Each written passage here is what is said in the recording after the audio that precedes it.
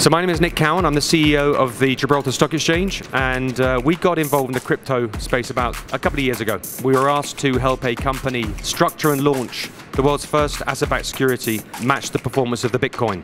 So we had to sit down with our regulator. We had to go on a bit of a journey. Took us some time, but we got the product away. We launched it, and that really took us into the space. Then in 17, we saw the explosion of the uh, the ICO market. The government's bringing in regulations from January to to regulate distributed ledger technology operators. So we thought, as the stock exchange of Gibraltar, we should try and bring some leadership and governance to this whole ICO space. So we've opened the Gibraltar Blockchain Exchange, which uh, kicks off in January in terms of being open for business.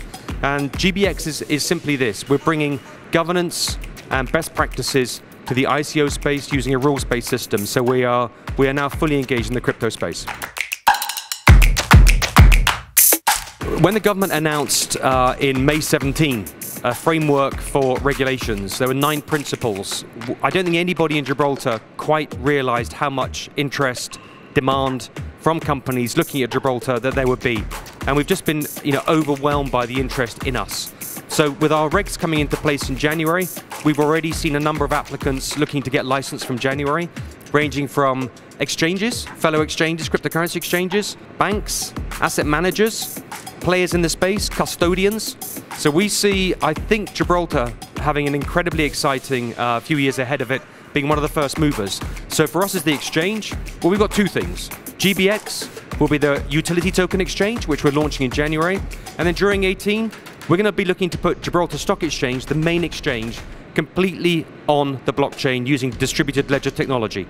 So if you're a security, you can come to GSX and effectively be a digital equity. You can trade securities on a digital exchange. If you're a utility token, you can come to GBX. So we believe we have extremely exciting and attractive opportunity, but also offering to help uh, uh, stakeholders, issuers, investors meet in a digital marketplace. 50 years ago, my granddad used to get paid in cash on a Friday. And then they started to say, you know what, we're going to actually give you a check. And there was just, what are you talking about? This is paper. And then 10 years later, we're not going to give you a check. We're actually going to put the money directly into your bank account. You can imagine that sort of transformation. I think wherever, whatever happens in the future, there's a transformation probably over the next five to 10 years because cryptocurrencies at the moment, they are not mainstream. They're not available. Uh, my mum doesn't know how to open a wallet. I'm only just learned how to open a wallet. It's going to take, I think, another 10, 10, 20 years. But you know what? I do believe there will always be fiat because until I think the technology supports um, the cryptocurrency space and the volatility starts to slow down, then I think there will always be an area of suspicion, particularly from you know the older generation, about what is this new digital currency that basically comes with a code. So I think I don't think you'll have one or the other, but I do believe they'll blend over time and uh, it'll become a lot more acceptable and mainstream for uh, for a method of payment. I think that there has to just be uh, more acceptance of it.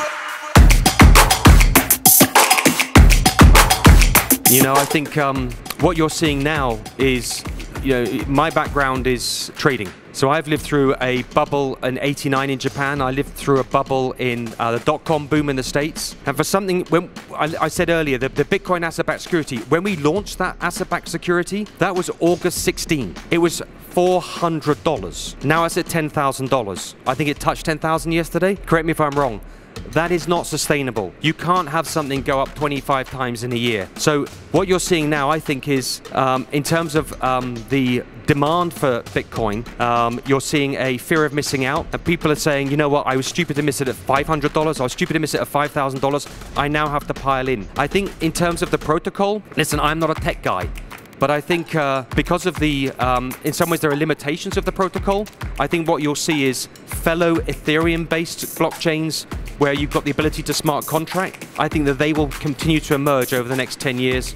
But I think in terms of Bitcoin, you know, I keep saying I've missed it. It's probably going to be $100,000 in a year's time, and I'll just be kicking myself and saying I'm an idiot. But uh, 25 times sustainability per annum, I, I can't see that carrying on. We sold 25% of our business this year to a Asian fintech company and um, they're, they're, Singaporean, they're Hong Kong, and um, they're younger, fitter, better looking, and wealthier than I am. They keep saying, You're so old. What do you know about blockchain? Why are you in this space? You're just an old trader. What are you doing? And uh, that's been, I think, the, the most interesting thing that actually I used to say, listen, I always try to learn from people older than me. Uh, I'm now that old person. And in fact, turned around because actually now I'm having to learn from people younger than me. So I kind of missed out on both counts. I clearly haven't taught anybody anything.